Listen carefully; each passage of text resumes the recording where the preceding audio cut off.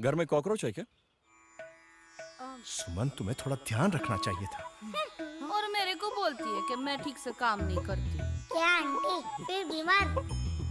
Why are you silent? India wants to know. क्या सोच रही हो? बीमारी कॉकरोच ने फैलाई और उंगली उठी आप पर? लेकिन मैंने तो चौक लगाया था। चौक छिपे हुए कॉकरोच का कुछ नहीं बिगाड़ता है। इसीलिए लाल हेड जो छिपे हुए कॉकरोचों को घुस के मारता है। लाल हिट छुपेगा तो भी नहीं बचेगा। सी।